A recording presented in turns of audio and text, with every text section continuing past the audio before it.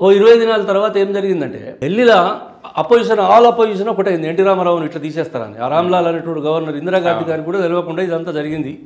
ఆమె ఎక్కడో ఫారిన్లో ఉండగా ఇది జరిగినట్టున్నది. ఆమె వచ్చిన తర్వాత ఎంక్వైరీ చేసి ఏదో పొరపాటు జరిగినట్టున్నదని అనుకున్నారు. ఏమైందో మొత్తానికి. ఈ అపోజిషన్ పార్టీస్ అటల్ బిహార్ వాజ్పేయి గారి నాయకత్వంలో మొత్తం దేశంలో ఉన్న చంద్రశేఖర్ ఓ ఏ అన్ని పార్టీలు దేశమంతా ఒకటైపోయినాయి. బీజేపీ కమ్యూనిస్టులు అందరూ మొత్తం మంది ఒకటి. ఎన్టీ రామారావు గారిని ఇట్లా దించుతారా? అక్రమంగా. ఇట్లా దించుడంటే స్పీకర్ నో కాన్ఫిడెన్స్ మోషన్ పెడితే లెక్క పెట్టాలి. ప్రోటమ్ స్పీకర్ని అపాయింట్ చేయమంటే సలావుద్దీన్ ఓవైసీ గారు ఉండ్రి. ఇప్పుడున్న ఓవైసీ వాళ్ళ నాన్న ఎమ్మెల్యే మాకు నా పక్క సీటే. ఆయనను ప్రోటమ్ స్పీకర్ చేస్తే అలా కూర్చుండి one two three four ninety nine two thousand two hundred two hundred and one అని ఇట్లా లెక్క పెట్టి కొట్టేసిండు. లెక్క పెట్టి NTR out motion move and motion success no confidence motion success అని ఇట్లా one two three four ninety four sixty ninety four two thousand two hundred two hundred and one అట్లా లెక్క పెట్టిండు ఆయన. అంటే డైరెక్షన్ ఆఫ్ కాంగ్రెస్ అంతేనా? కావాలని అందరూ ఒకటే అదే ఇచ్చేసి అదే అదే అదే. డైరెక్షన్ ఆఫ్ కాంగ్రెస్ అంటే ఇందిరాగాంధీ గారు చెప్పలేదు అనేది ఒక వాదన ఉన్నది. శివశంకర్ గారు ఇంకెవరో ఇంకెవరో ఈ లోకల్ స్థానిక నాయకులు అప్పుడు ఇదంతా కలిసి చేసిండ్రు అని. సరే ఏదేమైందని మన అది ఏదో జరిగింది. మేము అందులో ఉన్నాం. ఇరవై దినాల నుంచి ఇరవై ఐదు దినాలు ఉన్నాం. ఉన్న తర్వాత మేనకా గాంధీ గారు కూడా అందులో సంజయ్ విచారం మంచి ఒక పార్ట్. ఇప్పుడు జాతీయ స్థాయిలో.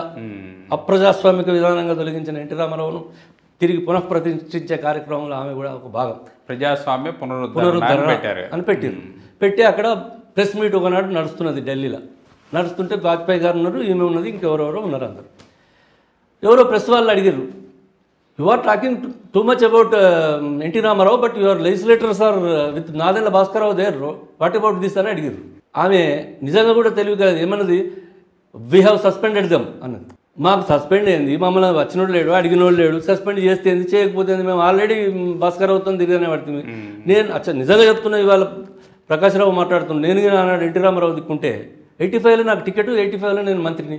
నేను ఆనాడు అనవసరంగా నేను సరే అనవసరం కాదు అవసరమే. నేను ఆనాడు కాంగ్రెస్ పార్టీతో ఉండదలుచుకున్నా కాంగ్రెస్ వాళ్ళతో ఉన్నా.